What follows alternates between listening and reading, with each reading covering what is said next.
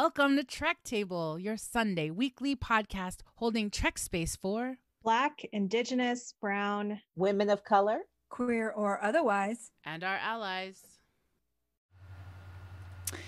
Hey, what's up, and welcome to the Trek Table. I am your host, Allison Ordela, and I'm holding Trek space for all peoples who are living in occupied territories as they struggle for their own liberation. Hi, I am your co host, Claudia, and I'm holding Trek Space for believers who believe in a better way. Hi, I'm your co host, Maya, and I'm holding Trek Space for everyone who is trying something new and uh, looking for uh, ways to hold each other and connect.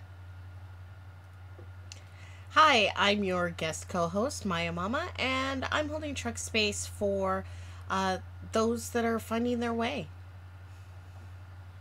Yes, yes. And we want to welcome everybody. We are holding lots of Trek Space today on this Sunday, May 16th, which is uh, happens to be our Sweet 16 episode of the Trek Table, recorded in front of our live digital audience here at twitch.tv slash outpost 13 for the last time uh, in this season. We're so excited. Thanks to everybody who's watching us at uh, twitch.tv slash outpost 13. Thanks to all our friends who are watching us at outpost13.org, or maybe you're watching us on the YouTube archive video or on our archived audio podcast. All right, so we've been asking folks who or what they are holding Trek Space for. The hosts are, are definitely holding a lot. There's a lot going on in the world. Um, so we're going to continue to invite our friends in the chat to share with us today. What are you, who or what are you holding Trek Space for? Um, and as we um, prepare for all these things, we're thinking about all these things. Let's go ahead and start this ritual.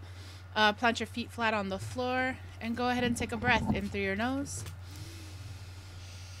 and out through your mouth.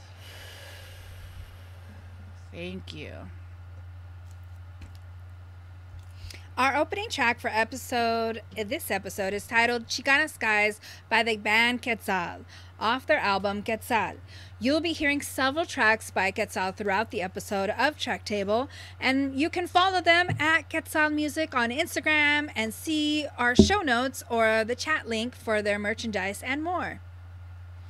Yes, yes. So we want to welcome you to episode 16 of the Trek Table. As I mentioned earlier, I'm your host, Allison Ordela. We just want to say thank you so much for tuning in today to a conversation with women of color about Star Trek. We've been exploring Star Trek Discovery this uh, as we've launched our show. We're super to dig in and talk about it. Today we're gonna talk about uh, the season finale of season one and as we get into all the things, we just want to remind folks that there's probably going to be moments of conversation because of uh, events that have happened in the show and the way that we're also going to kind of maybe connect it out to the real world. We just want folks to make sure that you take care of yourselves. So we might have some conversations about uh, torture or abuse or rape. So we, we know that that can be triggering for some folks or questions for others. So we do want to ask you to take care of yourself in this process. Uh, last kind of super fun announcement before we jump in. Uh trek table season two is going to launch on june 13th so we're at may 16 right now 2021 we're going to give ourselves three weeks off and come back and do a season one recap. And then we're about to jump into season two because we know star trek discovery season four is on its way. So june 13th We'll say that a couple times this episode, and we want you to stay tuned until after Space Runway because we have a super special Star Trek guest sharing a super special announcement. Let's listen to a little bit of 20 Pesos by the band Quetzal.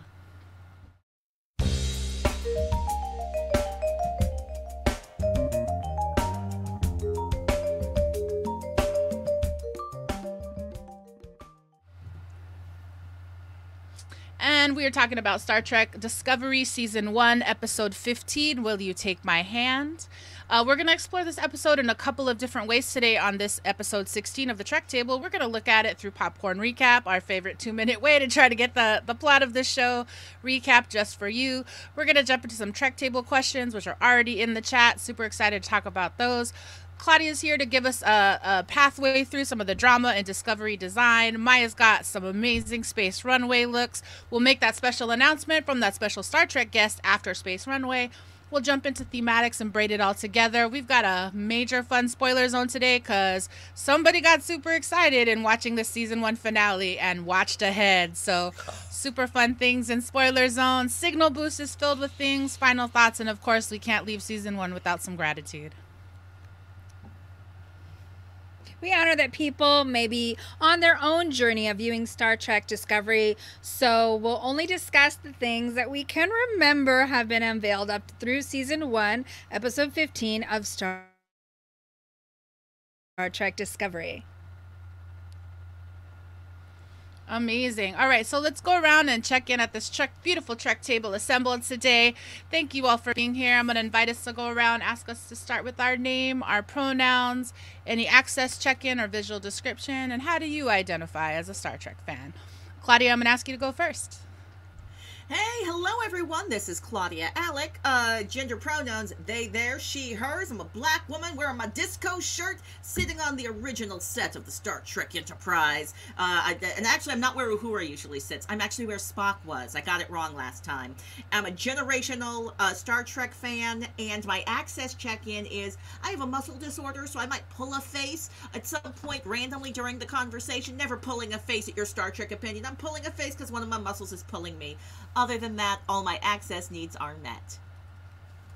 Amazing. Thank you so much. Maya, can I invite you to check in? Yes, hi, I'm Maya. I go by she, her pronouns. And um, if you hear any growling or barking today, it's not me. Um, my uh, co pilot, Chorizo, is back with me at my feet. I am a um, mixed mestiza Guatemalan with curly hair in honor of Tilly's curly hair today.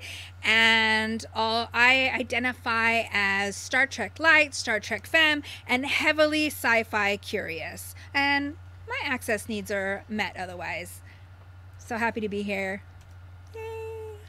Wonderful. Always happy to welcome you to the table. All right. So you got to hear our uh, special guest co-host in the opener. We want to welcome back family member of our show, Ms. Maya Mills Lowe, aka Maya Mama. Uh, Maya Mama is a digital producer, podcaster, social justice activist, and administrative maven living in Tacoma, Washington. She always wants us to remember to acknowledge the stolen lands of the Puyallup people. Welcome back, Maya Mama. Can I have you check in? Yes, hello. I'm Maya Mama. Uh, my uh, pronouns are she, her. Um, my uh, access check-in. Um, I'm I'm doing well. Uh, I am a young-looking, uh, middle-aged black woman. I'm wearing a floral dress, and I have a Star Trek Discovery little thing in the back. And uh, um, I and I identify as generational Star Trek fan. How about you, Dela? Thank you. Hi, I'm Dela. My pronouns are she, he, they, and Dela. Uh, I am a mixed race Filipinx uh, queer woman of color with some blue hair. I'm sitting in front of a Filipino malong, and behind me on the wall is also a Star Trek Discovery poster. Uh, I am. My access check ins are I'm good. I've discovered I've got a little bit of sniffles, so I'm going to try to manage that as we do this fun show. And I would definitely say I'm a Trekkie, Trekker, been a fan since the 90s. I identify now as a Trek head. And um, I love all the minutia and I have some canon knowledge. So that's kind of how I enter this conversation. But I always, always, always want to learn more. So that's who we are. Friends in the chat, we invite you to tell us a little bit about yourself. How long have you been a Star Trek fan? How do you identify? Uh, these things and more are all important to us as we begin to have this conversation about this final episode of Star Trek Discovery Season 1. And before we jump into these big convos, we always like to kind of set the, the guidelines, the ground rules for us as we honor our Trek table agreements. So I just want to say welcome to all who enter. Whether you're a newbie or you're raised in a Star Trekking or generational Star Trek family, welcome. Let's build some space together. Whether you use Trek Table as your nerdy exploration or even as part of your self care ritual, Trek Table is a weekly space to put down the world for a second and come into Trek space. A space for black, brown, indigenous women of color to be a fan, a geek, a nerd, and explore the vastness of the Star Trek multiverse. Yes, yes, Star Trek uh, Trek Table is also a place for allies to come engage and explore as well. This is an opportunity for us as allies to hold space and focus on our insights, perspectives, and experiences that we may not be familiar with. And now that we are all here, we remind you that we seek to build an environment of mutual respect and listening in the room and in our chat. We understand that we will disagree, and that's actually part of the fun, but there's enough hate going on around in the world, so please keep your phasers on stun.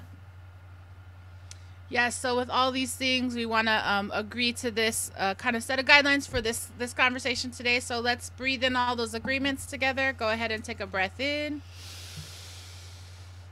and exhale. Thank you. Woo! Well, then this brings us to our first Trek Table question posed to our Trek Tables, assembled here in voice and video, and those participating in twitch.tv slash outpost13 chat. Our first question is What's an isik? Convince us you're right for extra points.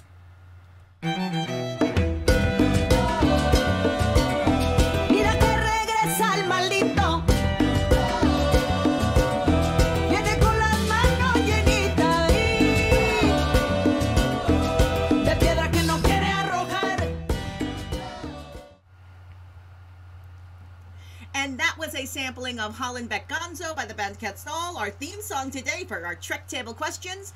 Trek Table question number one was, What's an isik? So I'm asking you, I'm going to start with you, Dela. What's an isik? Tell me what an isik is.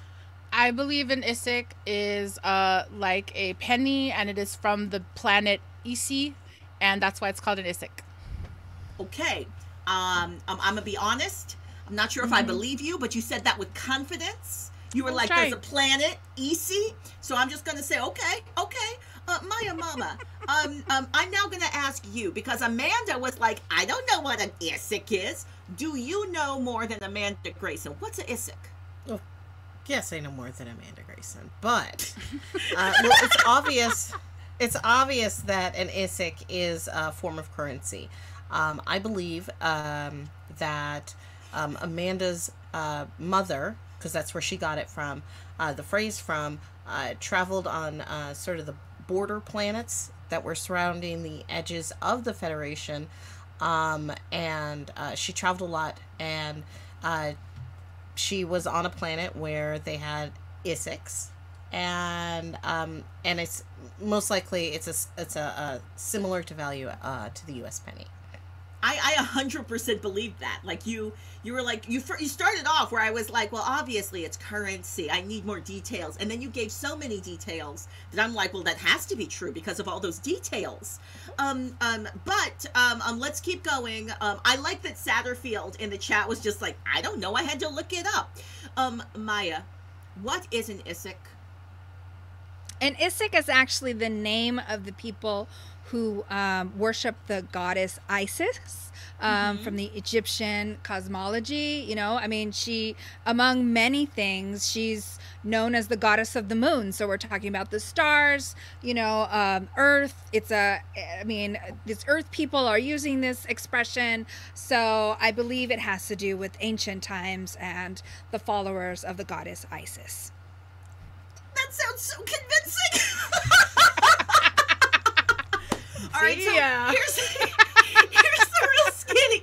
I gotta say, if if we just stopped this now, we could make a lot of Star Trek fans really uh, ignorant and confused because they all sounded so good. Um, It turns out the Isik that was actually mentioned on Deep Space Nine. There's an entire backstory um, with Quark and Isiks. We could go into it. It's actually not that interesting for our purposes. Um, I'm just so pleased that you all allowed us to go to do a little headcanon fun with what's in Isik. And that brings us to the end of our Trek table question. Right, right. So we wanted to let folks know if you're not on our mailing list already, we we we were excited to put this out in the newsletter this week. Um, the Trek Table YouTube channel is up. We have posted the last two archive video shows of our last two episodes here from twitch.tv slash outpost 13. Uh, we're going to drop that in the chat, or we will also be pumping that um, in our socials. But if you're not on the Trek Table mailing list yet, you're going to want to join us uh, at trektablepodcast.com. But yeah, like and subscribe to us at Trek Table on YouTube. We're super excited.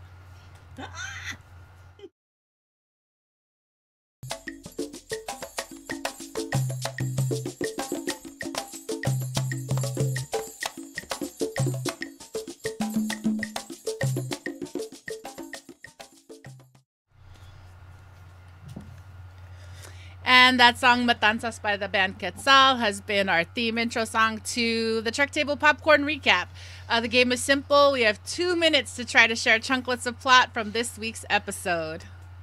Yes, we will be talking about Star Trek Discovery Season 1, Episode 15, The War Without, The War Within, story by Akiva Goldsman and Gretchen J. Berg and Aaron Harberts, teleplay by Gretchen J. Berg and Aaron Harberts, directed by Akiva Goldsman, directed by Akiva Goldsmith.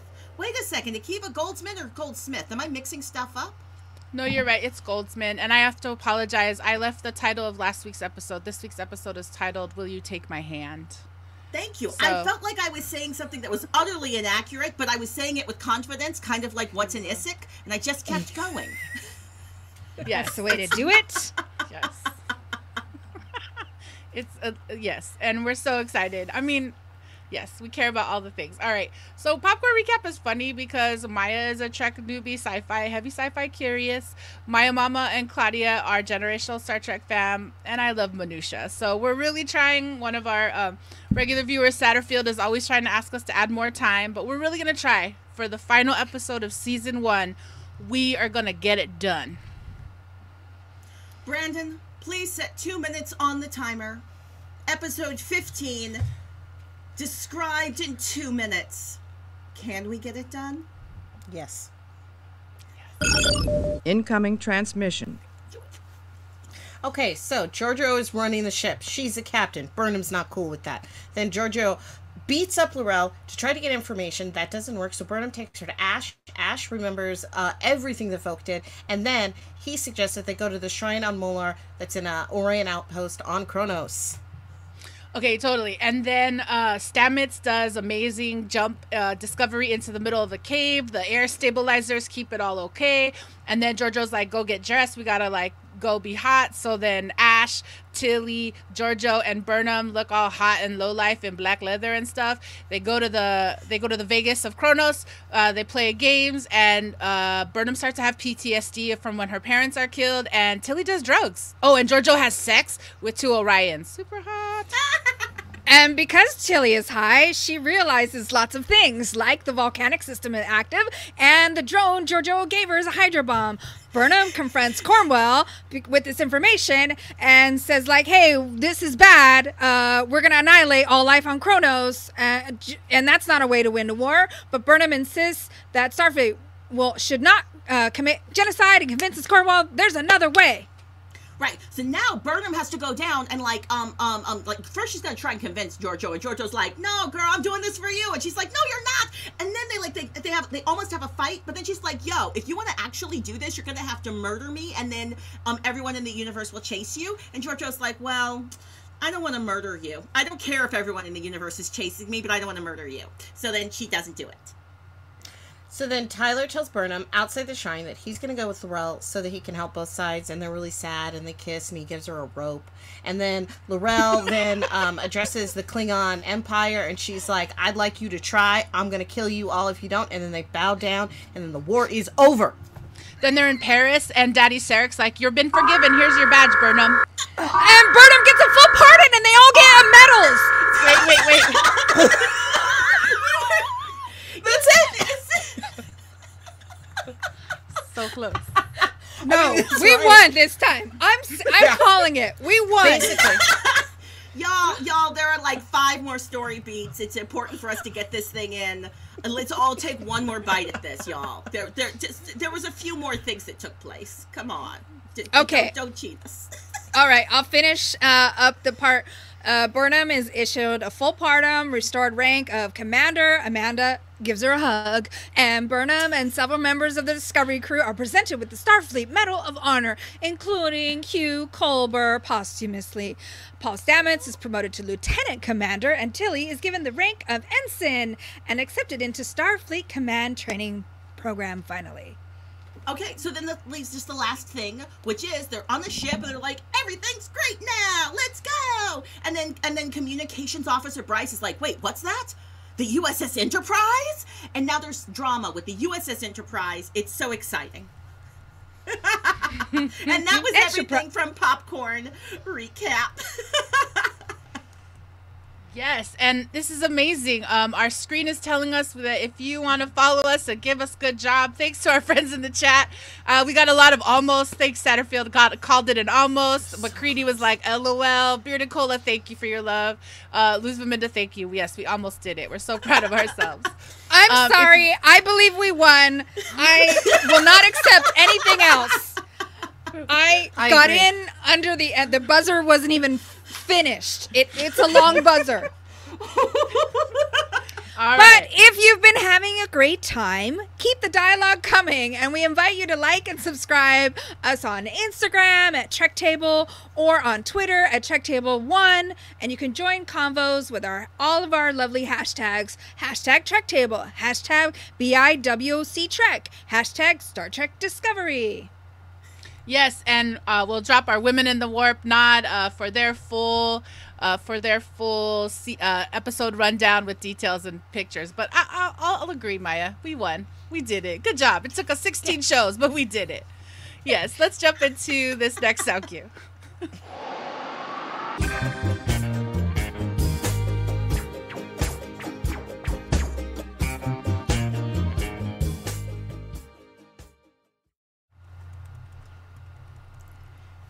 Hey y'all! So we are now it's time for Discovery Designs. We are going to dish on all of the design elements, giving us all this drama. I'm super excited. Um, this is the last season of the of the. This is the last episode of the season, so they just spent up all of their money. So there's just so many exciting design elements. Can we talk about Qo'nos? It's spelled with a Q and an O and an apostrophe and an NOS. It's Qo'nos, not Chronos, and I've been spelling it wrong my entire life. Can we talk about Qo'nos and that hologram map and like them landing on the planet, all of that exciting stuff. Ooh, look at that map. That's a sexy looking map. I'm I'm now for hologram maps, y'all. Last last episode I was saying they they moved to the better technology of iPads, but actually I've now decided holograms are better and iPads are kind of like the equivalent of a CD versus an album. It's, it's it, it- maybe they're just cheaper to make, easier to distribute. You know, I think that the the difference is that a hologram or a holographic image is like good for like a big group, but if you're like working by yourself, you don't need like a big world true. map. Like you can uh that would probably get in the way. If you're walking down the the hallway and there's like a big planet and you're like grabbing it all out, that's like really inconvenient. Um I I think that this is more of a of a Betamax versus VCR uh, or, or VHS type of situation where the Betamax was actually the better product, but people didn't like it.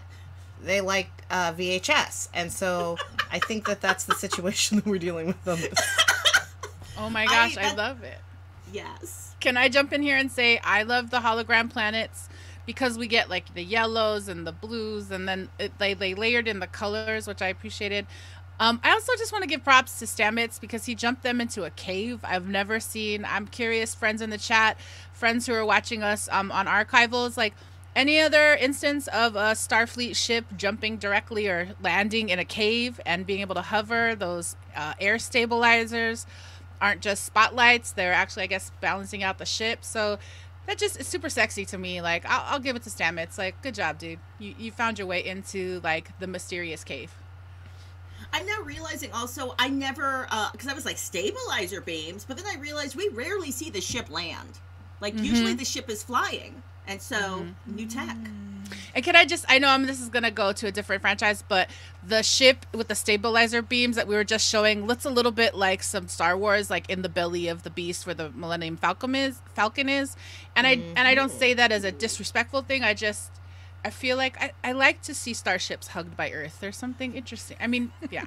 So I don't think it's disrespectful at all to compare design elements between different um, uh, uh, franchises. Um, they're all borrowing and learning from each other, so so I don't think it's disrespectful at all. But can I move us? Can I move us to the Orion Yes. market because I actually did find something um, slightly problematic um, with the Orion uh, market. I I thought that it had an um, an Orientalist design element. And um, this weekend, I started um, uh, just doing some research on it, and I realized, oh yes, this is Orientalist design. This is this is. I, I just I went back to my Edward Said and started re- reading like, why were these design choices made for cyberpunk, and like what were the what were the anxieties that, that were happening inside the United States in like the 1980s that created um, the necessity to create sort of um, iconography that's about fearing things that are Asian.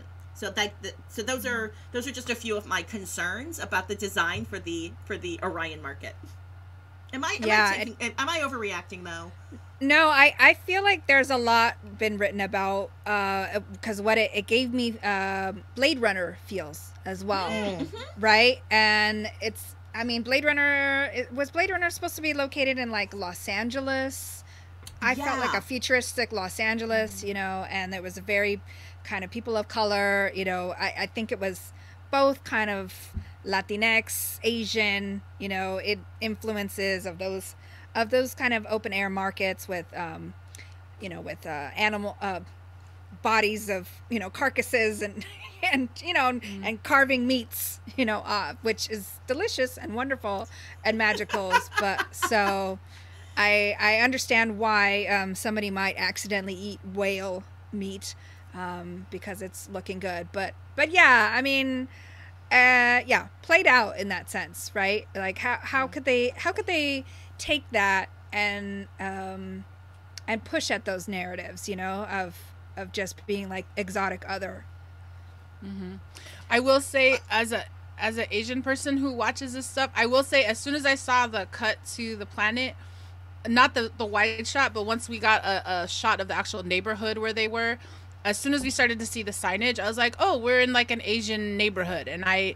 I think I've just become a little bit numb to the way in which Asian iconography is like used as evil because I was like, oh, I want to eat that. Like, what's that on the grill? Like, I just started to kind of accept the loveliness of what I was feel what I was feeling because it felt familiar. It felt like a night market. I mean, even when they go to the arms dealer, it's like the arms dealer as sushi bar kind of thing. Yeah. So, so I would No. just offer that. I thought, I, I mean, I don't think it's evil so much as just poor. Uh, which, you know, sometimes in uh, narrative stories equal the same thing. But uh, there's there's sort of a, a, a like a low class element to it um, because they're Orions, and you know, Orions I- are are bad, trashy uh, criminal types. yeah right the i mean like so like the Yangi's flea market pop-up kind of places. That that that also i i get that too. Hmm It Um, is what I- definitely very old and cliche, and I've kind of, I'm kind of over it Yeah. too. What I love though is Dela, you um named night markets, and I also when we when that episode started, I immediately had nostalgic feelings for visiting the night markets with friends in Taiwan, and I want I was like, hmm. oh, I, I want to go back there. That was so much fun. And then I was like, wait a second, why am I thinking night markets and this Orion thing are the same?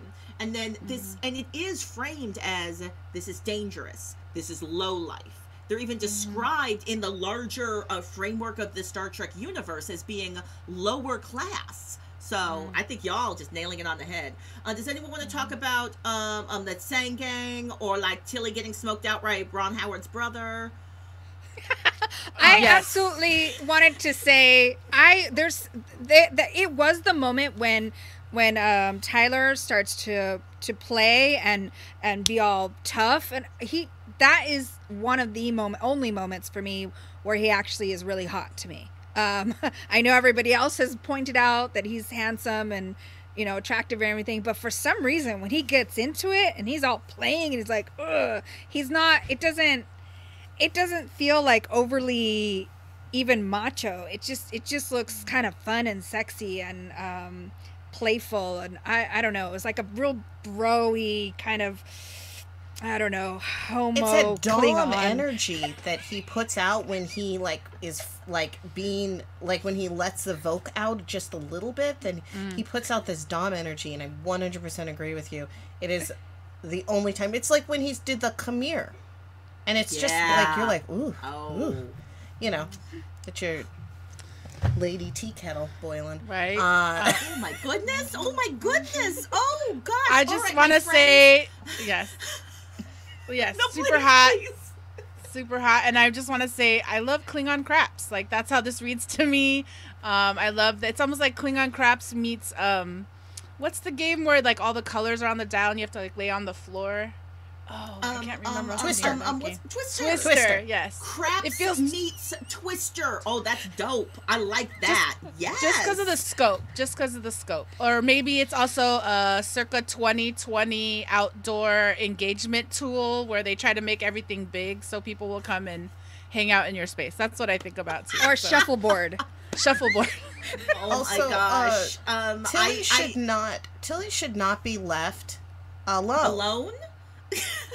She should not. She's a cadet, and they like left her. She just walks off and eats street meat, and she doesn't even know what it is.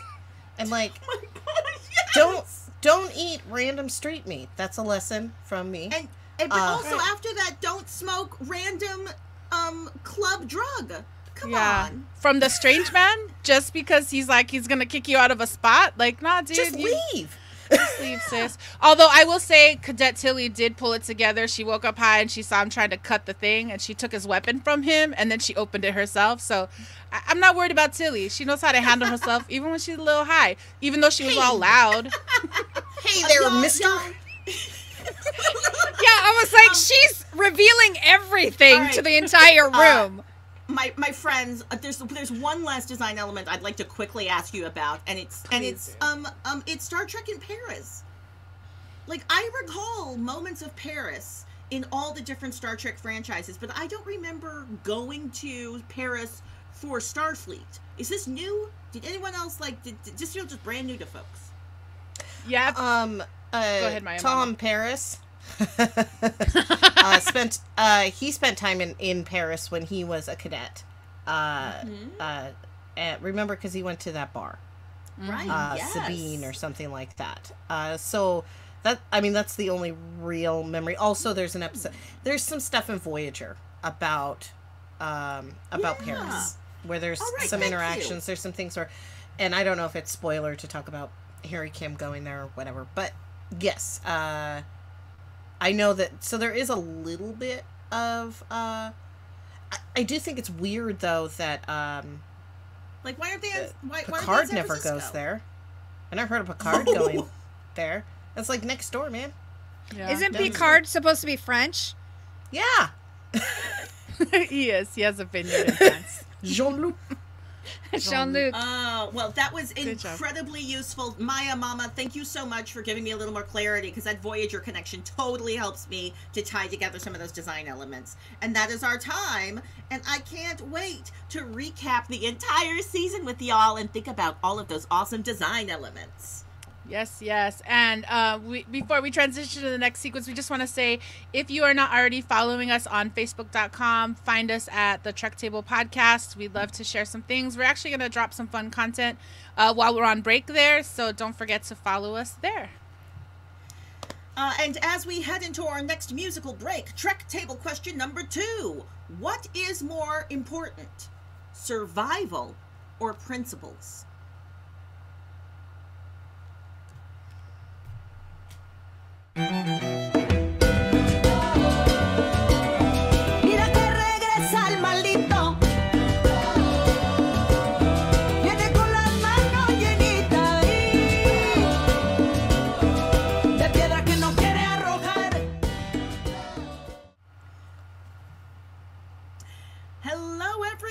So we are here with Trek Table question number two, which is what is more important, survival or principles? Um, I'm going to turn to Maya Mama first and just ask you, um, what's more important? Well, I mean, nobody wants to die, but principles. Principles are more important. Burnham is right. If you lose that, then what are you even fighting for? What's what's the point? Um, if you become if you become the enemy, um, then why why did you even fight? Why didn't you just let him win? That's uh, that's my opinion. Interesting, interesting. I'm, I'm.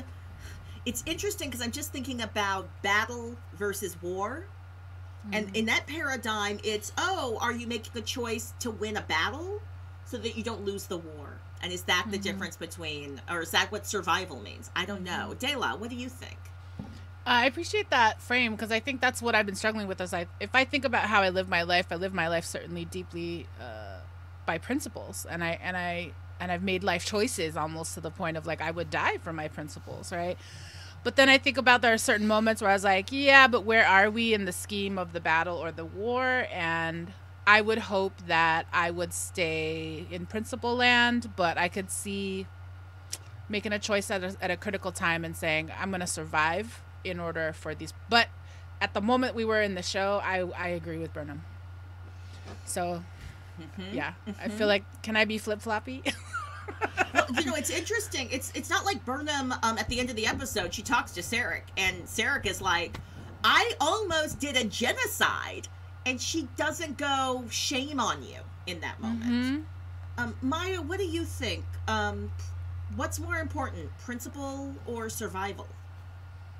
I, you know, I think it's really important the moment that she's not, that she is standing up, but that her whole team is behind her at this point because at the beginning of the season, she's making this individual kind of choice. So I guess I, what I'm really trying to say is, is yes, I think you need to stand up for your principles, but I think it's the best when you are working as a team or working as a community and you've you've come to that place together. Um and and and you know but it, it's just really hard because i think as a younger person i was all principles and as i'm going you know in these next couple of years it's i mean right now i feel like a lot of it has been survival right? So and and what kind of survival are we are we really engaging in? What kind of life are we really living when we have a moment to even think about it? So i don't know. It it's it's not black or white for me. I'm a, a libra uh moon. So what do you expect? I'm um um I you know in the middle of us having this conversation, I had the um um the, the idea about battle versus war. Um, Satterfield um, uh, shares in the chat survival is a big question. I can choose to die for my principles, but I'm willing to let those go for the survival of those I love. Those choices are easy. In the moment, my principles, my kids come first, right? So, Yes. um, and and and, and um, from Mrs. Seal, uh, if I'm the last one um, of my species or family, I pick survival to carry on, um, to carry on our principles. So I, I, I, I'm returning to the oh. I think sometimes it's about going oh, if I if I win this battle in this way, am I actually doing a move that makes me lose the entire war? Because I, I feel like that's what Burnham was. That was the argument Burnham was making. She was like, "Hey, Katrina, if you win like this, you lose everything." Hmm. Y'all, Mhm. I love having Mhm. Star Trek conversations with you. You're the best. You in the chat and you here at the table. That was amazing. And that was Trek table question number two. Yes, yes. And ooh, ooh, ooh, it is almost time, announcement time for us. And look, I'm going to tell you this our special guest, here's some clues woman of color from Star Trek Picard. But you're going to have to stay tuned until after Space Runway. And now is that time in our ritual where we invite everyone to move around in your seats and screens because it's now time for our Trek table dance break with Space Runway. And here we go for some eye catching looks from function to fashion in the 23rd century. Space, space, space runway. Welcome to Space Runway. This week we are doing highlights from season 1, episode 15, and there are 10 looks today. So excited about that. There was so much. Here we go. Look number 10 Sad Boy Blue onesie. Here's Tyler, still in recovery but trying to help Starfleet map that Qo'nos. This full body zippered onesie looks super comfy, but a little awkward as our former head of security is now stripped of rank and focused on the security of one. is it all about the individual aura? Because we do not remember Burnham looking this sad in her onesie. Hmm. I think so. Look number nine. Hot low lifes on a cool walk. The terrible Terran is in charge of the away mission, and you know what that means.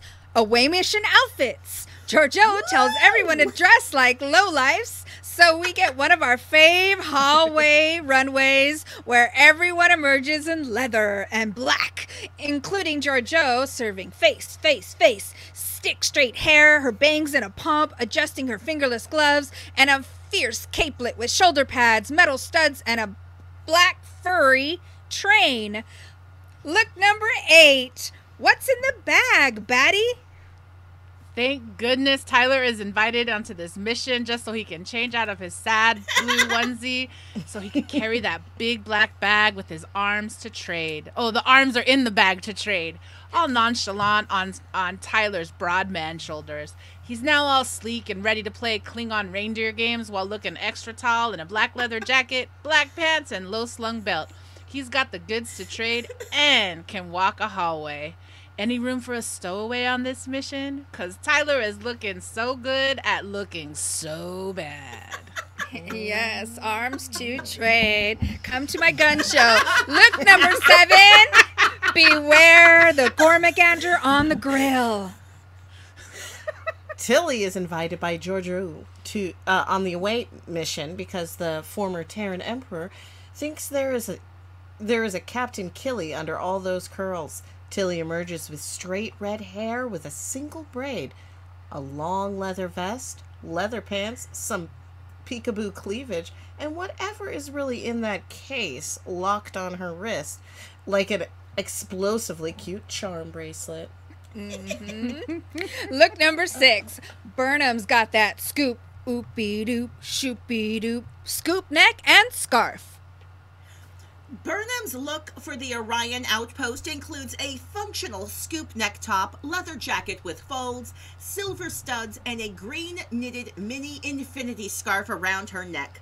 This badass look works for day trips to Kronos in Orion clubs, Klingon crap games, and of course, traipsing around the ancient Klingon shrines. This look even adds just the right amount of earthiness because she's beamed back to Discovery to challenge Admiral Katrina Cornwell and ask if there needs to be a mutiny up in here, up in here. That's right. Look number five. You light up my tattoo. Tyler finishes winning at Sing and comes to find Burnham contemplating beautiful parchment samples of the hottest Orion outpost tattoos. We love that you get an almost invisible tattoo that lights up when you touch it. Truly touching as Tyler presses Burnham about why she fled the game and how she's doing here on Kronos. Who knew that Klingons give tattoos by candlelight? Very romantic. Who knew? And look number four sex and circuses. Captain Mother shows the way once again as she lounges in this sexy black leather bustier with the plain silk bikini bottom, luxurious laid out amongst the golden sheets and the beautiful green of her Orion sex workers intertwined around her legs and arms and back. We see you, Captain Mama Georgiou sex positivity because even up in here she decides she needs to top this guy in the silver speedo gun in hand to get what she really wants that location of the shrine of molor yeah. Look number three. L'Rell coming out of the dark. L'Rell is out of the shadows and out of the brig as Burnham gives L'Rell the gift of Klingon domination. Done with her prison blues and silvers, L'Rell is back in her silvery white armor with red jewel tips. We even see later that L'Rell commands the 24 houses to bend to her will. She is lit up with shades of red to fulfill her destiny and not just become another torchbearer, but the flame itself. Yeah. And look number two. More medals, more medals, and more medals. Admiral Cornwell appears with the geometry of medals on both her right and left chest as Michael speechifies in the final minutes of the episode. Cornwell and the others, remaining Starfleet admirals, are all on the dais as the Disco Bridge crew gets a medal. You get a medal, and you get a medal, and RIP to Dr. Hugh. Luckily, Starfleet won't do you like uh, Star Wars did to Chewie, and even Daddy Stamets um, Boo gets a posthumous medal. Aww. That's right. And finally, look number one the ambassador's wife, gowns and glamour. Mama Amanda Grayson shows up in not one, but two fabulous outfits in Paris, not only to offer Michael another Isik for her thoughts, but to ponder what it all means. Amanda's blue gown with a cape and clear umbrella is a perfect look in the rain. We get a glimpse of more Mama Ambassador fashion, cheering from the audience as Amanda rocks a burgundy mauve colored dress with little peekaboo caplet sleeves, by elbow length black gloves, and her hair swept up dazzling with a netting of jewels hugging those buns. Is it us, or is Amanda overdressed at all times? Mm-hmm. We don't have time to talk about her husband, Sarek, but he looks nice too. And that's it for Space Runway this week. Fashion, form, function in the future.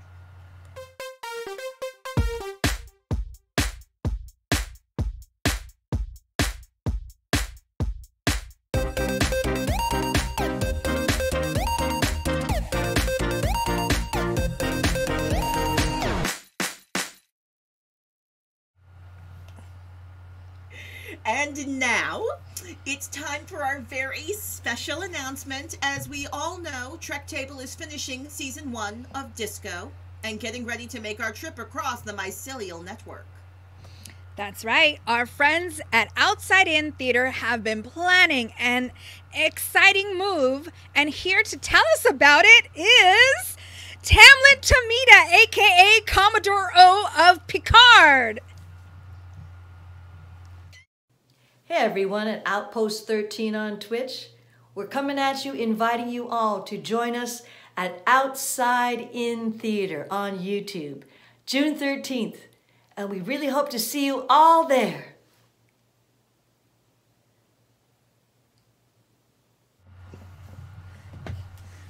Yes, yes, letting us live long and prospering. Thank you so much to the amazing Tamlyn Tomita for that drop. Uh, we're so excited. Yes, Trek Table is going to be moving to the Outside In YouTube page. Uh, so is all of Outpost 13, and we're the first to drop this, so we're so excited. Thank you so much to everybody here at Outpost 13 and all of our followers here on Twitch. We're super excited um, to do this move. So June 13th is that date. Uh, make sure to follow us and subscribe to us so we can keep sharing more information and more details. Instagram uh, at Trek Table or sign up for our mailing list at trektablepodcast.com so you can get all the behind the scenes info and tea because some super special people are coming with us in season two. All right, so we've got all the business. I was all excited. All right, so we're in this final uh back so yeah everybody just come to take a second. I know like lots of us are super excited. Like whew, yeah that was you know i, I admire that Tamlyn C- commodore o can do the vulcan. I can't. I'm working on it. Um it's been a topic in after chat. So yes we are so excited as we wrap up this uh, season one of Star Trek Discovery. As we think about this whole um, episode 15 Will You Take My Hand? Uh i've been thinking about how like burnham's been on this journey right? From the very beginning we've seen burnham have to make some choices about who she wants to be and we've been having these conversations about principles or survival. So i just want to give us a chance to weave it all together. Um, and then Burnham kind of falling in love with the Klingon, and uh, you know Sarek telling us like, "Oh, that's the irony of all ironies," because this is the episode where we do finally hear Burnham tell us her story about how she has become the person she has become. So I find it really powerful and um, amazing. And so I, one of my questions is just like, yeah, can love mend all wars? And as I think about what's happening in our own Earth world right now in 2021, I don't know. I, I hope that love can heal, but I see so much. So, topic number one for us in thematics is we want to talk a little bit about Burnham and Tyler. Last week we kind of talked about are we on an accountability journey? On are we on a restorative justice journey? But now as we kind of pull back, we see um, Tyler kind of showing up, trying to be there as Burnham is moving through uh, Kronos. And I just wonder if, if folks have any other parting thoughts about Burnham and Tyler and kind of where we land um, with Burnham and, and, and Tyler. So, uh, Maya Mama, I'm wondering, can you start us off? Oh well, I think that Burnham is is finally like really settling and learning who she is, um, and and and what her principles are, um, and and and her ability to to empathize is um is a really big deal. It's it's one of the reasons why Kronos is even there, um, and and and Tyler I think is on a, a parallel journey as well. Um, but he's just like a little bit behind. And um, i think that's why she's understanding of his need to go away like to learn and stuff. Uh, this is Claudia. I feel like I've got such complicated, mixed feelings about this particular character, but I've been thinking more about what's the story of um, restorative justice and how do we uh, build a future with those who have harmed us in the past. And um, I I do see it does feel like Berna uh, that it does feel like Tyler is trying to take accountability um, and um, and seems to be moving in responsible ways, which is why I don't feel creeped out when I see Burnham giving moments of forgiveness.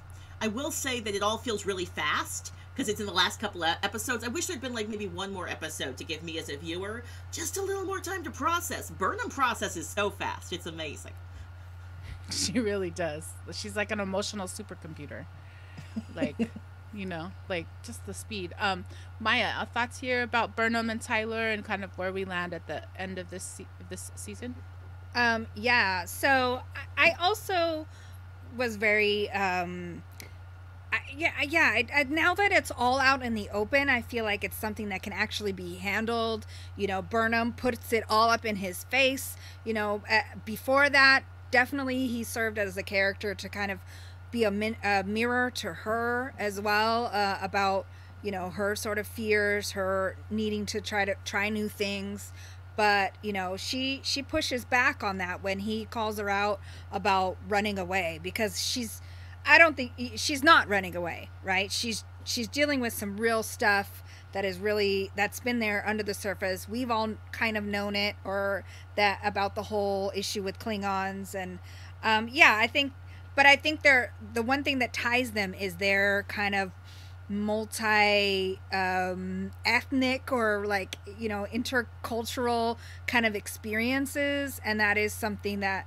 that they share and it allows them to still be friends or at least still be reflecting back into each other and i think it's i think it's great that he's like cool you said to back off and and deal with my my stuff learn you know relearn to tie knots i'm gonna go.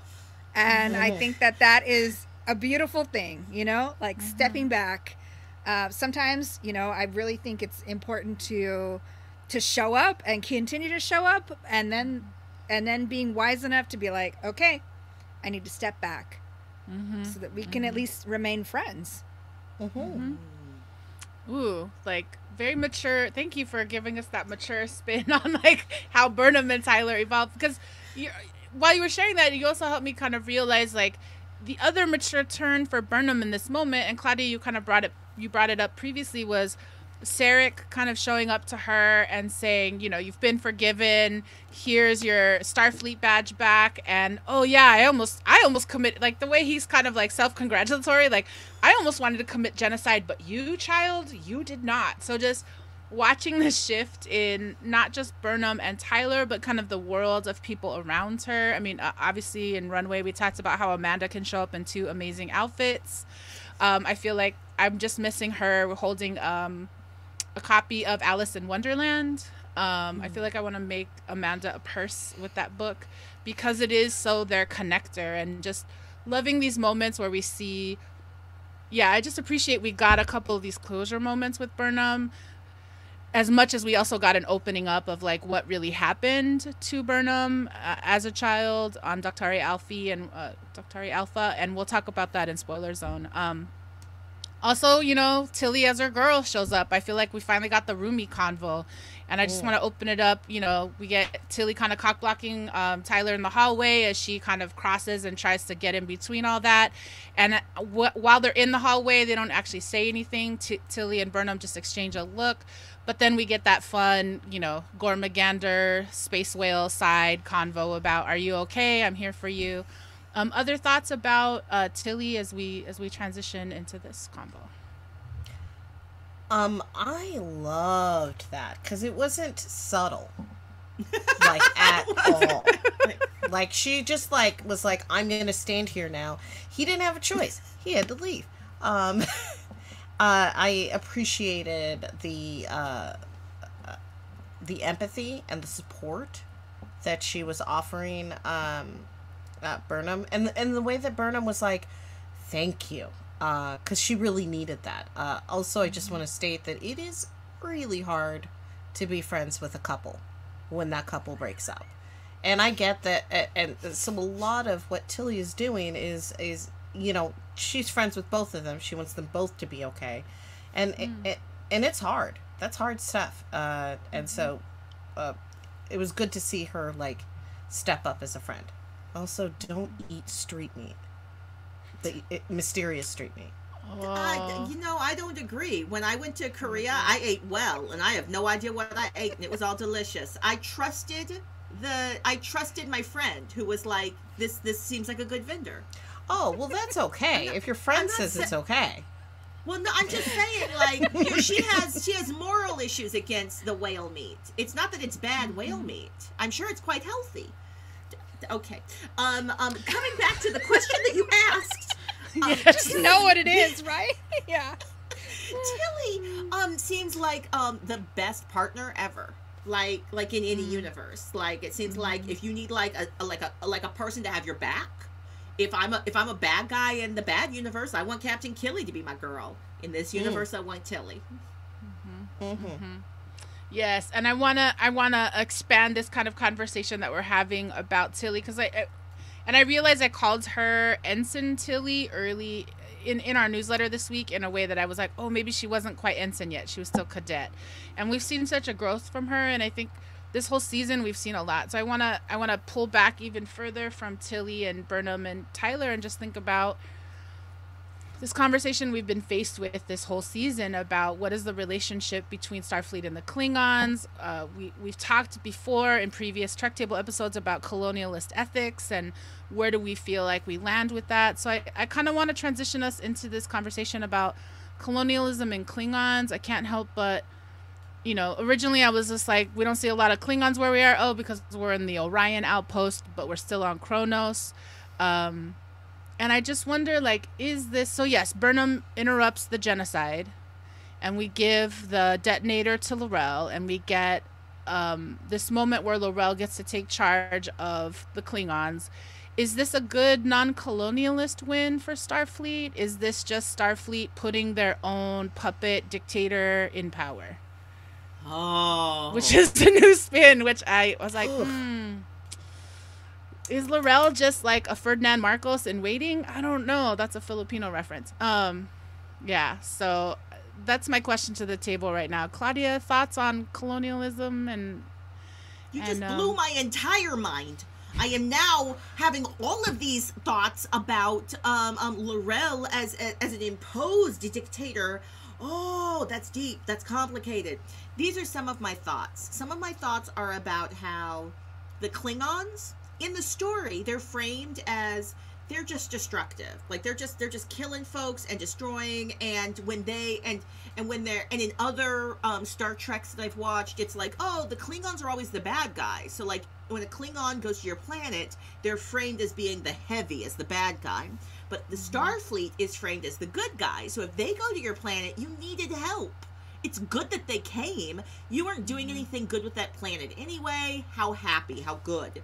So i'm just really i'm i'm curious about colonialism and imperialism and the assumptions that are kind of embedded in the storytelling and and the kind of um a, a scary thought that i had last night as i was meditating on this was this starfleet is coded as good because it colonizes planets where nobody's on them. And that's how you have a healthy post colonial society. There's just no one else out there. Um, I'm I it's it's a kind of a cold-hearted uh, dark t- uh, observation. Yes, Maya, mama. Well, you know, yeah, that is the only way to like I guess morally colonize is to go to a planet where there's nobody. Um now the the the um help me out wording is escaping my brain. The prime directive. The prime Yes. directive of Starfleet of the Federation is to not interfere with existing cultures.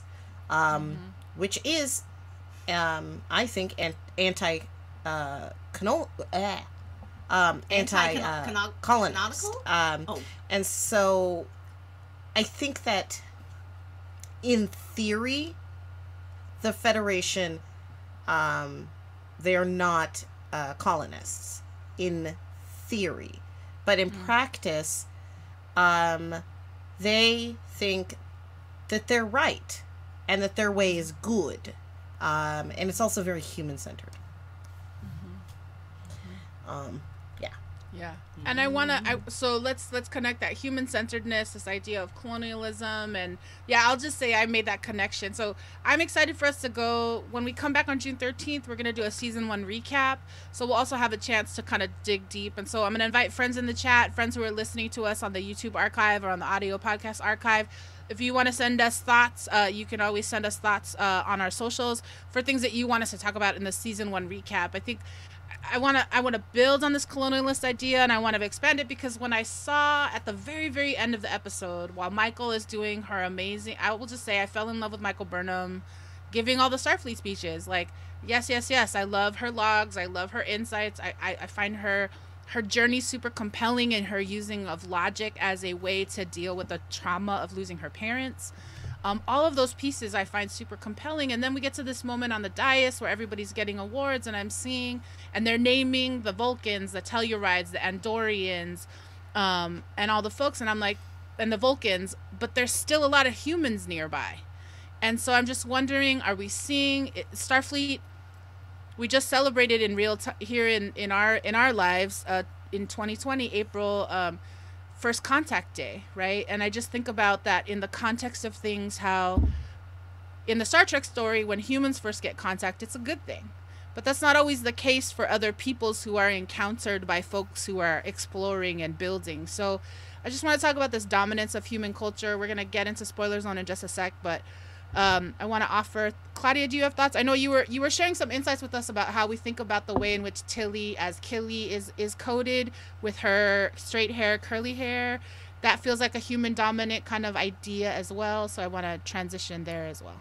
Oh well, well, I, I- I- it's funny because I'm always watching this show through two lenses. I'm watching it as as if Star Trek is real and pretending that everything in the story is totally real. But then I'm also recognizing what's happening um, in politically in the world, what what impacts some of the showrunner, like like why they're making the storytelling choices that they're making. So in universe, I'm going to respond and say I actually think I'm going to agree with Maya and say, or Ma- Ma- Maya Mama, and say that um, the act of Starfleet giving all of the power and choice to this female leader in L'Rell, that's actually an anti colonialist move. Because while they're like, oh, we have a choice, we can either destroy you all or give this one Klingon all the power and hope you work it out. Um, so so I feel like that's an anti-colonialist move in terms of like they're not they're not in, in as much control as they could be, but they're they're involved, and we'll get into that in the spoiler zone. Um, and then in terms of the outside universe, like just the world we live in, um, curly hair is seen as a black thing so it's seen as being lower class. Like straight hair is seen as as classy because of white supremacy and white domination. So it's interesting that in the future they wrote a future where an asian woman she's from the terran universe though so maybe that's like some terran racist politics coming in. But she's she's indicating curly hair bad straight hair good and that's that's pure colonialist um um from from the real life. That's that's colonialism. Yeah. Yeah. Uh, uh, couple. I know that we're in like a super deep topic moment, so I don't want to be like any last thoughts while I before we jump into spoilers. It's always bothered me in Star Trek that uh, that everything is uh, human centered, uh, because if you notice, uh, everything is human or non-human, and the way that they they they describe others is is is all based on the baseline normalness of humanity, um, of Terran humanity. I don't mean evil Terran Empire. I mean Earth.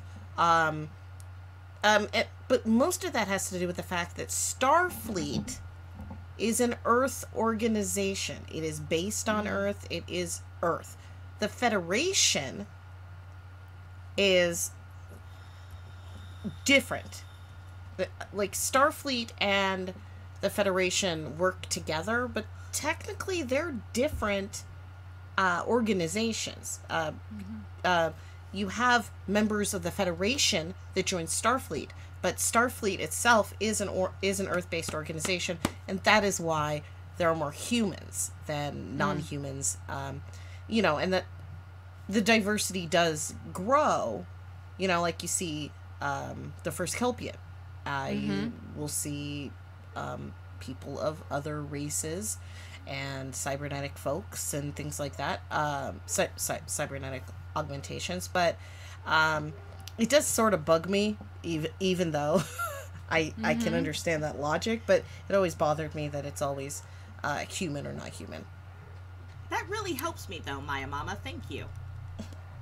Totally. Yeah, I just Maya, wanna to. I just have a quick idea, and I also, as I have another set, sentient being in my arms here, Chorizo has been snoring in the background. Um, but he's now in my arms. so, um, if you hear him, um, he he has feelings too. Um, but I, yeah, I just wanted to say, I mean, in terms of just creating the the show and what I've you know understood about Star Trek as a universe. It's it, I, it is about us as humans, uh, creating a different a kind of mirror, you know, and how science fiction reflects who we are as humans, right? Because we are running around here um, fighting uh, and and thinking about all our differences as ethnicities, cultures, and ways of being. And so the alien other is is another type of mirror you know so i i think that ha- that probably has something to do with the with the human centeredness about it um but the alien other is is something that comes up in literature and narratives all the time and sometimes it's just evil bad and and i think more complex readings are are ways of of showing our own humanness and our own um you know wh- what do we really want to be like and how do we really uh, you know reflect on d- different ways. So I, I i i just really appreciated this conversation because it is it is sort of pushing at that of of like oh even even in this realm where we're trying to think about different cultures different ways of being we're still uh can center our own cultures still be um yeah ethnocentric you know or human centric so Yeah. uh, yeah that's not a full-on thought but but it, i do think it has to do with um you know the ideas of of narrative storytelling and how how we can easily jump into a to a show and and figure out who we identify with. And i think that's also the queering of this show or the the gender politics of this show is the way that um you know some of us identify with the aliens you know Mm. Yeah, and I'll just say, I mean, the very beginning of this the series is all in Klingon. I love it. I love that we're getting previously on Discovery in actual Klingon. We're hearing it, so I think they are trying. But yeah, we're still seeing some of these limitations and these challenges. Uh, and it just yeah, super chunky. Is super excited, and there's always gonna be more. I'm gonna say join us on June 13th for our season one recap. We're gonna jump into these thematic things as well. But now it's time for us to go into that part of the show because spoilers, uh, thematics wouldn't be complete if we didn't do spoiler zone. And if you're watching us in synchronous order, then you're going to want to turn down your volume or mute your audio. If you're watching us, we'll wave back. You'll see the the red spoiler zone go to green. Um, we also invite you to do a free flow doodle like Maya and Marie Ren do when we're doing this. And today's special, Maya's going to join us in the spoiler zone. So without further ado, Brandon, can you take us to the spoiler zone in three, two, one?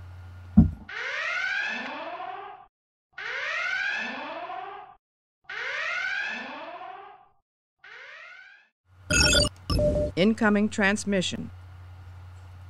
Amazing. So, welcome to Spoiler Zone. Uh, Maya C got so excited after the end of this episode, and you watched ahead. Uh, welcome to season two insights. Uh, do you know how far you've got to? Yeah, go ahead. What do you want to share I with us? I don't I I just know there's Spock is coming. Uh I know all the you know I I feel like I was so good at holding back, going see you know episode by episode, week by week, in almost a zen manner, and then when we finally got to the end, I was like, "Oh no, I'm going, I'm going forward. I just I want to watch a bunch of episodes all together," and so um, I did that. I don't feel bad about it. I feel a little bit bad about it because I'm confessing. um, but yeah, I mean, there's just so much hair in the in the season two. There's a new captain, you know, who's bringing back that kind of old school feel of uh, Star Trek. Uh, I'm at the point where it's still just like, where is Spock? I don't know if that's going to be the whole thing uh, in season two. There's, uh, and why is everything always Burnham's fault, or at least she takes it on as being her fault? Like, oh, well, Spock's off in the in the world and we haven't talked because I was mean to him as a kid because I was trying to protect him from this red angel or, or whatever that is yet. So I don't know what that is yet. That's where I'm at. I just know that they they got to a a planet that um, uh, generations of Earth people Mm-hmm. uh, have colonized, and so there was no one else on that planet. Um, so when we were talking about that, um, I was I was remembering that portion, and they were they were all like, "Oh, we can't reveal that we're from the future or that we have spaceships." So that's that's where I got to, and I was like, "Ooh, I'm so glad to be in a new season, and I can't wait for for um, yeah June 13th and and the rest of June um, for us going forward." Amazing. All right, I'm gonna say um, I want to say thank you for joining us and invite you to doodle while we go. There she goes. All right. So Maya Chichia is gone. Maya Mama, Claudia, three of us. We have four minutes and 46 seconds in this spoiler zone. So much, so much. Oh wow, so so so much. I I do have to say, um, I after our conversation about all the colonization and, and whatnot, it's really nice to know that the Federation is or that Starfleet actually does move off Earth, and does actually become more uh, Federation centered, uh, or and a part of the Federation than it previously, uh, like is in this in this timeline. Um, and uh, it's always Burnham's fault because she's the lead, and also because she can't she can't help it. Spock makes a comment about how like why is it everything always on you? You don't have to do this. Um, also, I am really looking forward to Spock. This is my second favorite Spock. I, Uh, I don't like him. He's different. He's he's, I he's like not him. Leonard Nimoy. He's not Leonard Nimoy. I need him to be Leonard Nimoy. Just basically, he's not Leonard, and so I'm confused by him always, all the time, always. he's uh, Gregory Peck's grandson. Okay, okay.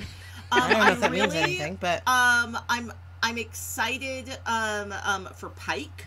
Strangely Mm-hmm. enough, I, I I had issues with Spock. I loved Pike. I thought but Pike's Pike. casting was awesome. He's my favorite Pike. He's the best Pike. He is. He's Mhm, he's my Pike mhm. forever. Um, also, um, number one, she's so good. She's so good. I'm like actually excited about their show because like this must be like a spin-off show Yes. with Mhm. Pike and number one and all of that, which is a gigantic spoiler because now you know he makes it through season two, um, and they have a I spin-off, and I love. Rebecca Romijn. Rebecca Yes. Romijn is so good, and she's so She awesome. And I gotta say, the, the the little short track with Yes. her Oh and my Spock gosh. Yes. and the turbo Loved lift. yes. Oh, Okay, So can I ask good. the spoiler question about that? Do we think Yeah. that they wanted to kiss each other at the end of that episode? Is that what that was? Was that No. sapiosexual love or No, desire? That was, that was explaining. Um, that was actually doing a bunch of labor to explain why Spock acts super emotional and wild in the original pilot episode and then acts all different. So like that was them doing some deep canon work for nerds like me who know that the Star Trek like that the Spock character was actually not designed to be emotionlessly or uh, to be emotionless until they did the reboot with Captain Kirk. Totes. Can I say Well, my he favorite had to part? do the work. He did. He did. Yeah. And I will just uh, lovingly uh, be in the Star Trek fight. I do like Ethan Peck as Spock. So Claudia, I love that we're gonna get to disagree about this all next season. um, and I will just say my fa- uh, season two is my favorite. I can't wait for us to see uh, Jet Reno show up. I can't wait for Daddy Culber to come back, and I cannot, cannot, cannot wait for Mama Burnham to show up. Like I am so ready for us to have this moment to meet Mama Burnham so that we understand we get to get to this moment where Burnham also understands she doesn't have to be the responsibility hoarder. It's actually not her fault. That actually in our lives we understand stories based on the information we know, not always necessarily the full scope of the real story. So uh, yeah, so I'm just super yeah. I, I get why Burnham is a responsibility hoarder because people also push it on her and she has to step up into it at times. So yeah, those are some You know, of my uh, so when when she's telling her story to um to Tyler, Yes, thank you. she says she heard her mother slowly being killed, but that's not true. That's not what she witnessed, but that's what she thinks she witnessed. Which uh, it doesn't matter actually what the truth is because trauma is trauma is trauma. But Right. um, I do think that that's really interesting, and I'm actually looking forward to rewatching to see uh, exactly I- what it was yeah. that happened. And my head canon is she hears them trying to get into the room where her mother has locked herself because she's doing the space jumps. But I you I also have a head canon question of like, so when little Michael how does little Michael get rescued? Does she actually emerge into the room where her parents are dead? Is that how come she thinks her mom is dead too? Has she actually held her dead mo- like all these like head canon questions. Yeah, yeah. So It's- last it's- 15 it's- seconds of this spoiler Um, zone go. Um, I did a huge amount of uh, research and reading on the Klingons, and we do not have time to go into all of that in this episode. But season two, we are going to be discussing some Klingon history, baby. Time crystals. Yeah! Yes. Just. I just wanted to say that at the end.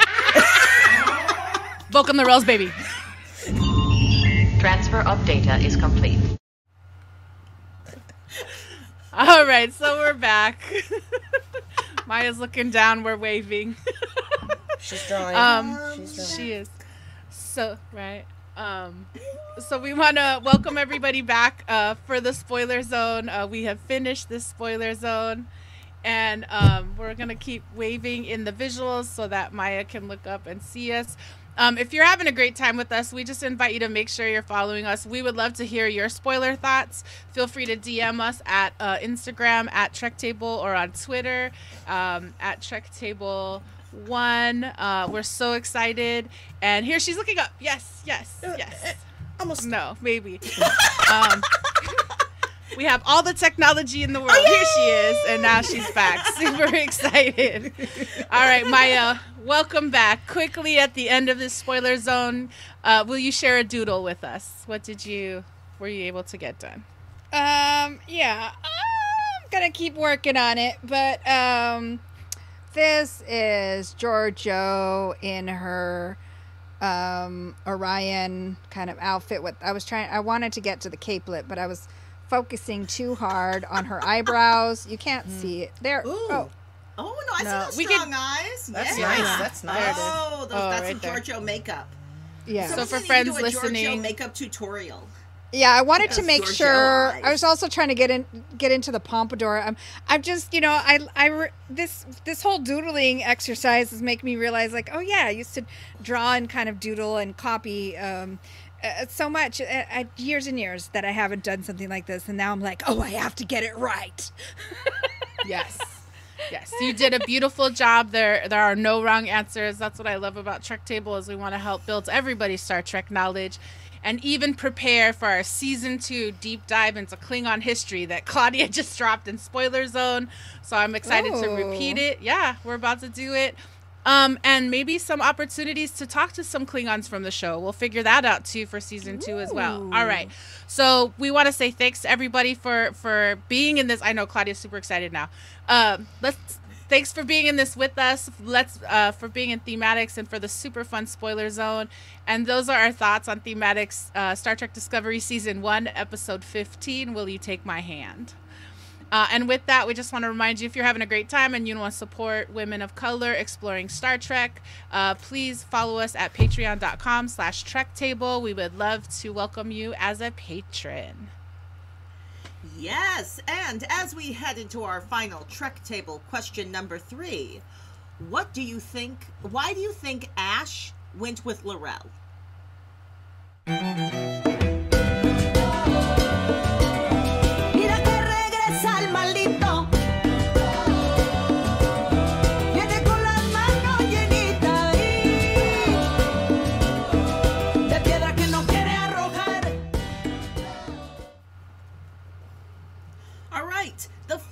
Trek table question of our show and of the season. And y'all, this was the question that was really burning in my mind. Why does Ash just go, hey, Burnham, you know what I decided to do? I'm going to Qo'nos. I'm stay here on Qo'nos. Peace.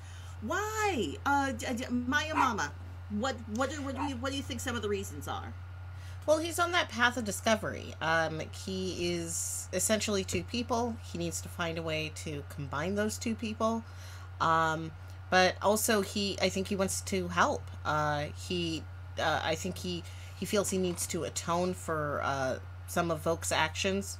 Uh, and uh, but I didn't think of it as going with L'Rell. I don't think he chose L'Rell. I think he's still choosing Starfleet. Um, and uh, like he's there to to support the peace in uh, on Qo'nos, but uh, but I think he's still a Starfleet man. I don't think he cho- I I don't think he goes with L'Rell, even though that's those are his words. Oh, okay, okay. Uh, Maya, Maya, what, what do you think?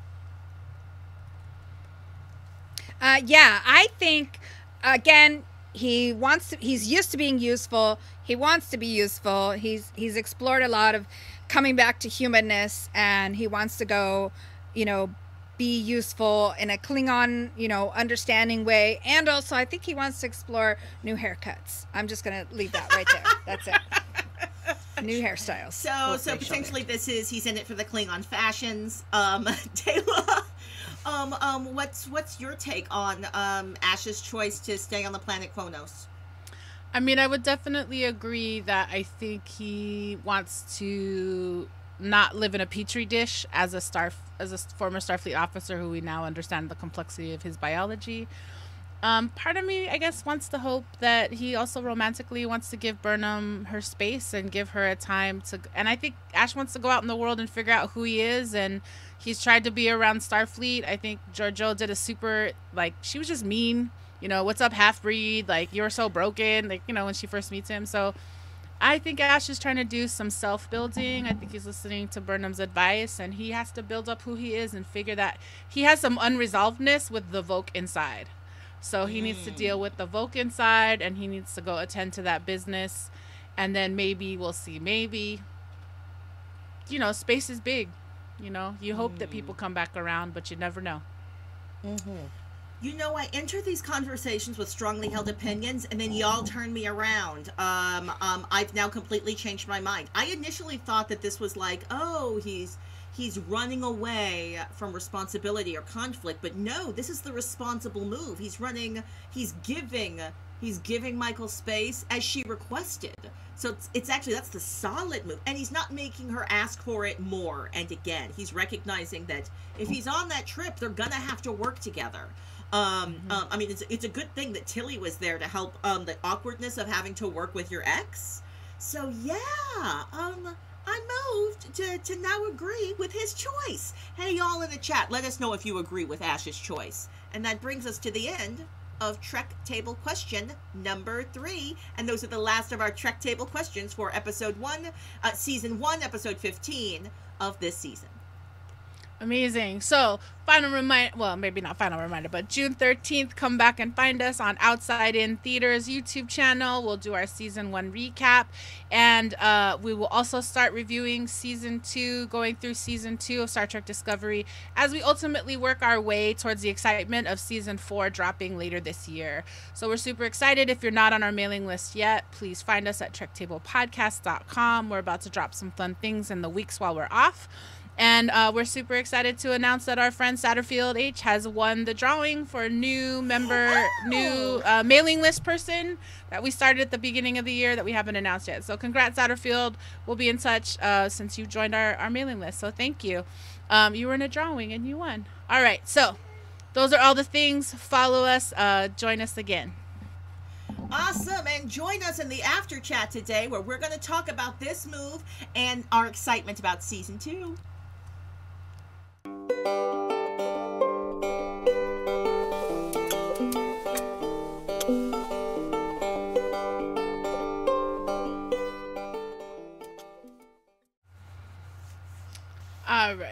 we've reached this, the point in our show called Signal Boost, where we strive to hold space and uplift the voices of Black, Indigenous, Brown, women of color. And here are some of the resources that we want to highlight and amplify for the work of women of color who are content creators, community builders, and world shapers. Maya Mama, can I have you share first?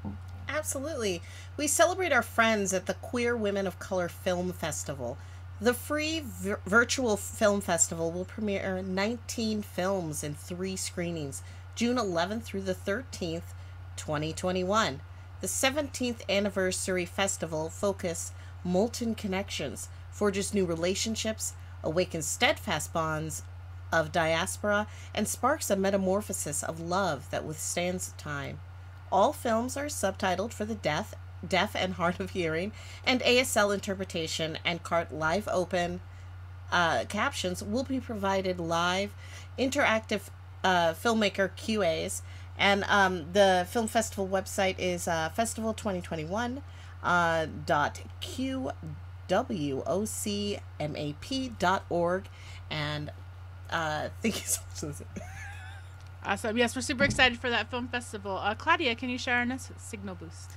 Uh, yes, we want to uplift this great reminder from writer Riddhi uh, Dastidar.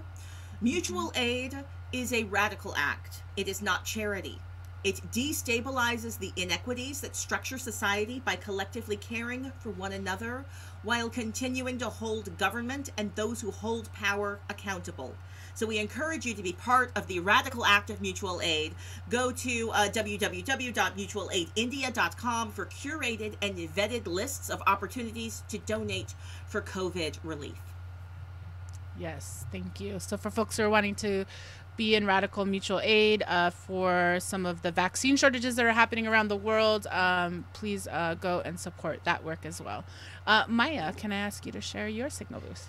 Yes, um, Uh, 2021 National Queer Arts Festival presents Central American Unicorns in Space. Connections to the past and to each other have been severed by dark forces that made us forget who we are and where we've come from. Set in the future where borders as we once knew them on Earth no longer exist. So you'll join your host and captain, Maya, that's me, as we travel through the ether tonight, a crew of healers, artists, shapeshifters, and timekeepers using prayers, poetry, movement, and performance to uncover what became of the Central American diaspora. This show, a digital cabaret of sorts, features DJ Fem Papi, Jose Richard Aviles, Roy Guzman, Lula, Lulu Matute, and Celia Sagastume, also known as Astro Sagas. We will um, drop in the, ch- the chat and in our notes the links uh, for the uh, Creating Queer Community program that commissioned more than 400 LGBTQ artists to create, produce, and, and promote uh, and document original works examining LGBTQTIA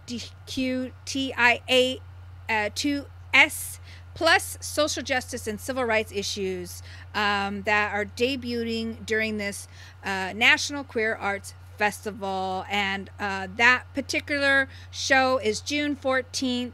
So please mark your calendars and check out their queer festival, queer arts festival fa- pass, where you can see more than 13 shows with just one pass, or you can also uh, buy tickets to individual shows.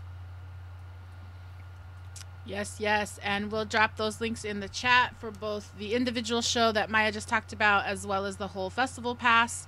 So thank you for that. And our final signal boost of the day uh, is to invite folks to check out the work by artists at the Crenshaw Dairy Mart.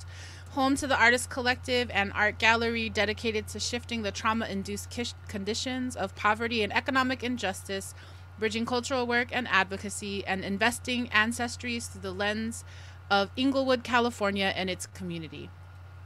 To view some of their videos and learn more about the artists involved in their work and their public art, please visit the CrenshawDairyMart.com. And they've got some work up at MOCA here in Los Angeles. Um, they just did an artist talk on Friday, so we do invite folks to check them out. Uh, if you have a woman of color content creator that you want to amplify, let us know and send us a DM at Trek Table on Instagram or at Trek Table One on Twitter. Uh, and that is our signal boost for Trek Table episode 16. Thank you.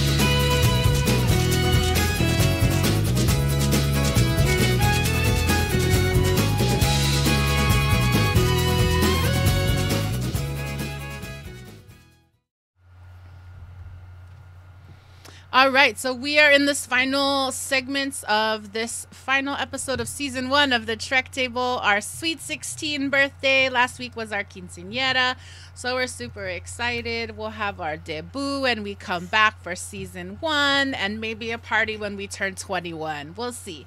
All right, so as is the case, with I love parties, so I'm about it. Uh, as is the case every week, we're gonna share our final thoughts, and I'm gonna invite Maya to go first. Your final thought on this episode. I mean, I'm uh, so excited to have finally gotten here. I clearly was so excited that I cut out my practice of only watching one episode a week and went forward because I really want to know what happens with Georgiou. Like, is she really gone?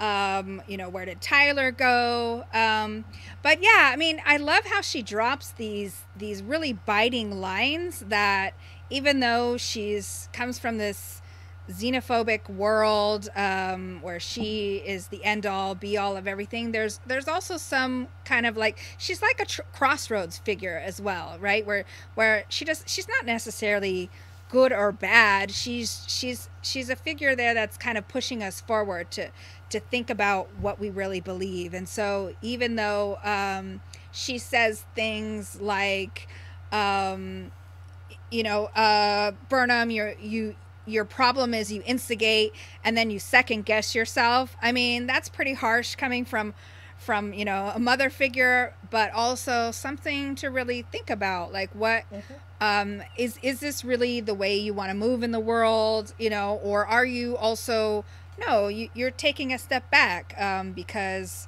you want to really figure things out, but yeah so i'm interested to see if we ha- what more there is from her what more there is from any of these characters um i i I, I'm just excited always as when they actually go off the ship, um, who else beams onto the ship, and and and really, um, yeah. I mean, I I, I just want to bu- burst through.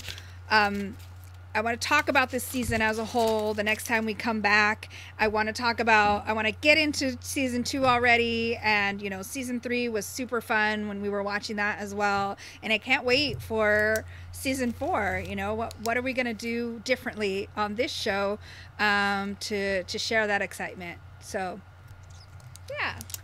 Amazing. My Thank you so much. Awesome. Uh, Claudia, can I invite you to share your final thoughts for this episode? Final thoughts for this episode and um, um, reflections on the season, I would say that um, uh, Star Trek allows me to uh, uh, process the present and dream about the future, and it's always been like a fun, a fun thing to watch to be able to do that. But it's always required so much um, work to make it um, match up to my actual lived experiences. It was all metaphor and illusion. And it's just so freeing and amazing to have a Star Trek that just has more direct comparisons to my lived experience and offers even more um, metaphors and illusions to think about um, why we do things today and how we do things today. If Roddenberry was making this show to help us dream of a new exciting future, uh, I, I feel like that that dream is being lived. Yeah. Final Yeah. thoughts. Thank Woo. you. Uh yes, thank you for all of that. Um Maya Mama, thank you for being a guest host on the show this season. Thank you for for joining us today, last week, several weeks. Um your final thought for this episode? Um, this show is a triumph. Um, it is, it's just so good, and I love um the ability to see uh, more of myself. Um, and the and the season wrapped up uh, uh so nicely, so neatly, um, and it gave us a really uh, a cliffhanger, but I gotta say that this was like a, a one of those cliffhangers that I found kind of satisfying rather than frustrating. Um, because I want to know. I wanted to know when when it when it had come out. I did uh withhold watching the next episode because I did want to um be good, but I'm probably gonna watch uh, a whole bunch tonight. Uh, I, you know, um, without a doubt, I just love how uh, responsible they are being with uh, with emotions and feelings and, and and how people process that. And so, uh, I love it. I love Star. I love I love Star Trek, and I love this show. Yes, yes. Thank you. And thank you all. I just I want to give shouts out in my final thought. I want to say thanks to everybody who's tuned in. I know this is just our season 1 end and this is our read of the season 1 episode 15 Will You Take My Hand? And I just want to say thanks to everybody who decided to take the Trek Table's hand, who joined us all season. Uh, to all our friends in the chat, uh, thanks to Luz Vamindas, Mac Reddy, Missy Seal, another TV viewer, at the end, Bearded Cola, Car Bob, Commander Root, Dark Sky, Doc Zulu, Girly, NoCal and SoCal, Sticky Pigs, Transwarp Witch, folks who join us every week, uh, I Effing Love Whiskey, Paul 2D2, uh, the Tam Tom, uh, all, all the folks who we get to mention and we don't. Thanks to Janice and Paulo, Diane, Tien, Kate, Satterfield, H, like everybody. So we're just so grateful. And I just want to say that, I, yeah, Claudia, your thought struck me because I do feel that the this episode. I'm so grateful Maya let me read it in Runway. I love that Georgiou is pansexual or queer. Um, I find that so um, validating or so intriguing to see a strong Asian woman who also is in control of her sexuality and um, certainly problematic in some of these conversations we're having about colonialism and imperialism. But there was something that happened to me when I saw this episode because of what was happening for Burnham and the way in which this story teaches us more about who she is. And then just starting to see the way that she and Georgiou are building uh, with Mira Georgiou and Prime Burnham, and what does that mean? So, um, I would just ditto. I'm super excited for season two. I'm so grateful to folks who've joined us, and I look forward to us being able to continue to expand this convo. And the last thought I have is I just want to. I'm just so grateful to be at Outpost 13 and to have had this time since January to really flesh through this season. So thank you to everybody at Outpost 13, to all our fans who've been listening for making a dream come true. i I'm so humbled by it. Um, and those are our final thoughts on Star Trek Discovery Season 1, Episode 15 Will You Take My Hand?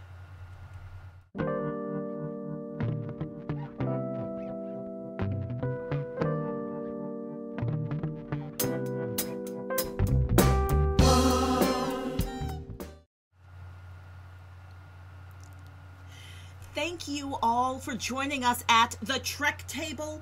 Please don't forget to sign up for our mailing list at trektablepodcast.com. You will especially want to be in the know about our move to YouTube, some of our special guests that are going to be joining us for season two. Mark your calendars now. Trek Table season two launches on June 13th. And yes, find your our Trek Table podcast on iTunes, Spotify, Google Podcasts, and wherever you get your podcasts. And now you can watch watch us on the video archive. You can like and subscribe to the Trek Table YouTube channel. And don't forget to support us on patreon.com slash Trek Table. And thank you all. We invite you to like and subscribe to us on Instagram or Facebook at Trek Table and on Twitter at Trek Table One. Join our conversations there and please comment using hashtags hashtag Trek Table, hashtag BIWOC Trek, hashtag Star Trek Discovery, hashtag Claudia's awesome. Hashtag Claudia is awesome. Yes, I agree. Ditto de la, as we would say in my in some circles. All right. So I was actually just about to go there and say hashtag Claudia is awesome. Hashtag Maya is awesome. Hashtag Maya Mama is awesome. Hashtag Marie Wren is awesome. Hashtag Claire Light is awesome. Hashtag Arthur Wong is awesome. Hashtag Ligaya Sanchez Chan is awesome. We want to say thank you to everybody who's been a host this season with us. We would not be here without you. Much thanks, of course, to today's table Claudia Alec, Maya Chinchilla, and Maya Mills Lowe. Hashtag all of you are awesome. We also want to say thank you to everyone for sharing your insights over this last 16 weeks that got us here today. All right, so we're about to close out this ritual for season one. Today we started by holding Trek space. Holding Trek space for all people who are living in occupied territories as they struggle for their own liberation. Holding Trek space for believers who believe in a better way. Trek space for everyone who is trying to something new and looking for ways to hold each other and connect. Holding Trek space for those finding their way. We're also holding Trek space for those who lead, teach, and model restorative justice. All of this is to say, we'd like to thank the Trek Table production team, our executive producers, Allison Delacruz and Luz Minda Jariwala, production coordinator, Brandon Chang, artist coordinator, Terry Hashimoto, social media manager, Isil Borlasa, and stage manager, Ariana Michelle. Deep gratitude and thanks to Outpost 13 and their parent organization Outside In Theater, with extra thanks to Jessica, Paul, Matt, Tamlin, Danny, Arlo, and Alex. Thanks also to Geekish Network, our exclusive partner on Clubhouse. Thanks to Francis and Abe and Visual Communications, and thanks to all of our friends across the Star Trek universes. And I want you to know that Trek Table is a service mark of De La Projects LLC. And finally, the deepest thank you to you folks joining us on outpost13.org or live twitch.tv slash outpost13. That's going to be the last time I say that. Oh my gosh. And also to all of you listening on our archives, podcasts, uh, and YouTube. Thanks for showing up for our conversation centering women of color in Trek. Ah. Yes, and so we just want to say thank you to Outpost Thank you to 13. Outpost 13. Thank you, Thank Outpost Twitch. 13. Thank you, Twitch. Twitch.tv. Thank you so Yes. much for being with us. Thank you for liking and subscribing all the places. It really helps us take off. And yeah, we want to fly, right? Yes, yes. Let's fly, as they say at the end of season three. All right, so we want to say thank you one last time today for coming to the Trek table. We're going to close this ritual with one more breath. So let's go ahead and ground yourself. And take one more big breath in through your nose and out through your mouth. We hope that you will join us on Sunday, June 13th, as we start season two of the Trek Table on YouTube. We are so excited to see you there, and we're going to keep holding Trek space for you till we get there. Have a great couple of weeks. We'll see you on YouTube soon. Bye.